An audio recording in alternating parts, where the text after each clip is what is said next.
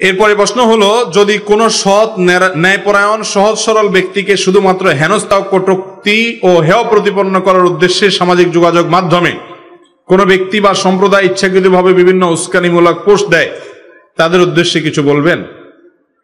ভাইরা আমার, তরুণরা আজকাল আমরা যারা ফেসবুক প্রজন্ম আছি ফেসবুক প্রজন্ম ইউটিউব প্রজন্ম টিকটক প্রজন্ম হ্যাঁ? টুইটার প্রজন্ম ইনস্টাগ্রাম প্রজন্ম যে প্রজন্ম হাতে আজকাল প্রচুর পরিমাণে সোশ্যাল মিডিয়া। এই সোশ্যাল মিডিয়া প্রজন্মের লোকদের জন্য, তরুণদের জন্য ভালো কাজ করার যেরকম অপার সম্ভাবনা আছে, আল্লাহর কাঠগড়ার আসামি হওয়ার ভয়ও অনেক আছে। কারণ ফেসবুক ইউটিউব এবং এই সমস্ত সোশ্যাল মিডিয়াগুলো, আমাদের যুবক ভাইরা যারা আছেন, আপনাদেরকে বিশেষভাবে বলছি।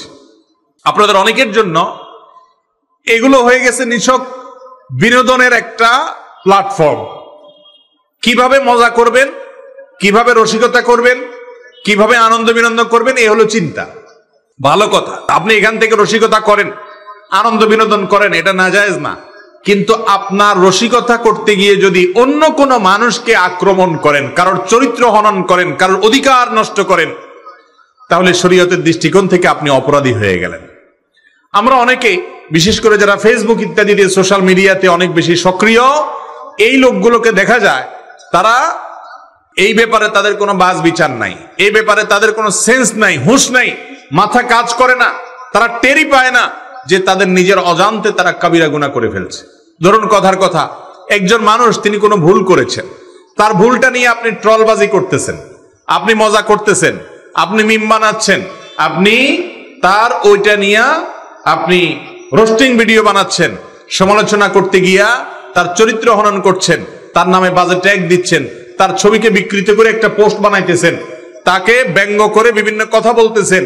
তার ব্যক্তিগত বিষয় নিয়ে সন্দেহমূলক ভাবে নানা রকমের আপত্তিকর ট্যাগ দিচ্ছেন, মন্তব্য করতেছেন, হাহা করছেন, মজা করছেন।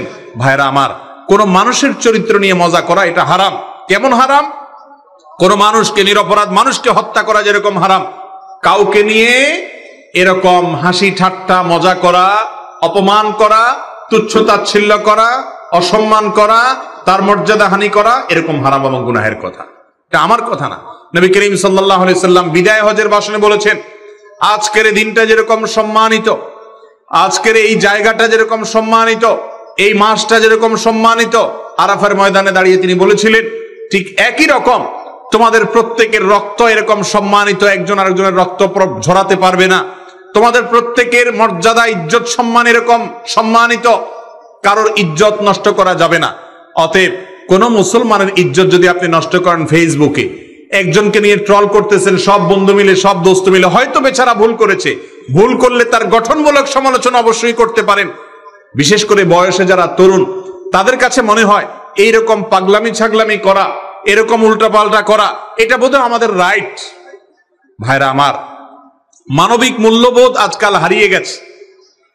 একজন বারো, চোদ্দ, ষোলো বছরের কিশোর কিংবা সতেরো, আঠারো বছরের তরুণ, তার কাছে বয়সে তার বাপের সমান, অথবা তার চাইতে হয়তো বড়, এরকম মানুষকে নিয়েও অনেক বাজে মন্তব্য আমরা করছি। সবচেয়ে লজ্জা লাগে যখন ইসলামের নাম দিয়া, ইসলামের লেবাস পরে ফেসবুক ইত্যাদিতে দেখা যায়, কথার কথা কোনো নায়িকা, তিনি হারামে লিপ্ত, অশ্লীলতায় ডুবে আছেন সমাজের অনেকের নষ্টের কারণ হয়ে আছেন। তাই বলে তাকে নিয়ে আপনি বাজে মন্তব্য করলেন। তার মনে আঘাত দিয়ে অযথা তাকে খোঁচাখুচি করলেন এবং গালিগালাজ করলেন। গালিগালাজ করলেন। আপনি মনে করতেছেন আপনি ইসলামের খেদমত করতেছেন। অথচ এগুলো ইসলামের খেদমত হতে আপনি গঠনমূলক সমালোচনা করেন। আপনি তাকে নসিহত উপদেশ করেন, কিন্তু সেটা আপনি করছেন না। তরুণরা এবং আমাদের বয়সে যারা কিশোররা আছে, এদেরকে আমরা উস্কে দিচ্ছি। উস্কে দিচ্ছি। কীরকম উস্কে দিচ্ছি? তাদেরকে আমরা ভোগবাদী করে তুলছি। আপনি দেখবেন মা বাপ, ছেলে মেয়ে যদি কোনো কিছু চায়, চাইতে দেরি আনতে দেরি না। ঠিক না ঠিক? চাইতে দেরি আনতে দেরি না। প্রবাসে যদি বাবা থাকে, বিদেশে যদি থাকে, তো তো কোনো কথাই নাই। বাবা, কি লাগবে শুধু বলো। মোবাইল একটা চাইলে তিনটা দিতে রাজি। আর দেশে থাকলেও একই কথা। ছেলে মেয়েকে বাবা মারা এখন দিতে দিতে দরকারের চাইতে আরও বেশি দিচ্ছে, যার কারণে তাদের মধ্যে ত্যাগ তিতিক্ষা করা। স্যাক্রিফাইস করা মানবিক মূল্যবোধ থাকার যে একটা ব্যাপার আছে, সেটা আজ তরুণদের মধ্যে নাই। হারিয়ে গেছে। ভাইরা আমার, এটা খুবই খারাপ জিনিস। এর সবচেয়ে বড় সাফার হবে ওই তরুণ, ওই কিশোরের মা বাপ নিজেরা। কারণ সে তো ত্যাগ শিখে নাই তার বাপ মার কাছ থেকে, সে তো ভোগ শিখছে শুধু। বাপ মা তারে ভোগ করা শিখাইছে স্যাক্রিফাইস শিখায় নাই। এই জন্য বাপ মার জন্য ত্যাগ করাও সে জানবে না। আজ ঘরে ঘরে দেখা যায় যে আমাদের ছেলে মেয়েরা মা বাবার কথা শোনে না। কেন কথা শুনবে? কারণ মা বাবা তো তাদেরকে শুধু ভোগ শিখাইছেন, ত্যাগ শিখান নাই। মুরব্বীদের জন্য যে স্যাক্রিফাইস করতে হয়, ছাড় দিতে হয়, এটা তো যুবকরা আজকাল ভুলে গেছে। আমাদের বাংলাদেশের মানুষের যে ঐতিহ্য ছিল, মুসলমান হোক আর হিন্দু হোক, সব ধর্মের মানুষের একটা কমন ঐতিহ্য ছিল যে বয়সে ছোটরা বয়সে বড়দেরকে মর্যাদা দিত। কিন্তু আজ ফেসবুক প্রজন্মের মধ্যে এই জিনিসটা দেখা যায় না। এবং ফেসবুকে যে ট্রলবাজি, কে কাকে নিয়ে ট্রল করছে, লোকটা কে? আর যেই হোক না কেন একজন মুসলমান, একজন মানুষ তার মর্যাদাহানি আমি করতে পারি না। কিন্তু শয়তান আমাদেরকে দিয়ে করাচ্ছে। অনেক সময় দেখবেন, যার সাথে আপনার মনের মিল নেই, আপনি হয়তো এক গ্রুপের ইসলামে দল করেন, আরেক গ্রুপের ইসলামের কোন একটা গ্রুপের সমর্থক বা নেতা তার ছবিরে ব্যঙ্গ করে, তার নামে কটুক্তি করে তাকে নিয়ে হাসাহাসি করে আপনি মনে করতেছেন আপনি দিনের খেদমত করছেন। এই লোকগুলোর সম্পর্কে আল্লাহ বলেছেন যে কুলহাল নুনাব্বি হুকুম বিল্লাহ সারিনা আমাল? আমি কি তোমাদেরকে বলে দিব, এমন লোকদের কথা যারা অনেক কষ্ট করতেছে এবং এই কষ্ট করে তারা আল্লাহর কাছে কোনো পুরস্কার পাবে না। আল্লাযীনা দাল্লা ফিল হায়াতিদ দুনিয়া, দুনিয়ার জীবনে তাদের সমস্ত সাধনা বরবাদ। ওহম ইয়াস, ওহম ইয়াহসাবুনা আন্নাহুম ইহসিনুনা সুনআ। অথচ তারা মনে করতে, তারা সওয়াবের কাজ করতেছে। ইসলামের কাজ মনে করে, সেবা মনে করে, আল্লাহকে খুশি করার জন্য একজন নায়িকাকে গালি দিলেন ফেসবুকে। সব হবে না গুনাহ হবে? একজন খারাপ মানুষ দুর্নীতিবাজ, ধরা পড়ছে, সে দুর্নীতি করে। ঠিক আছে, তার দুর্নীতির বিরুদ্ধে আপনি প্রতিবাদ করেন, সামাজিক প্রতিরোধ, সামাজিক আন্দোলন, সামাজিক সচেতনতা গড়ে তোলেন, সবই ঠিক আছে। কিন্তু তার বাপ মা তুলে একটা গালি দিলেন সব হবে না গুণা হবে?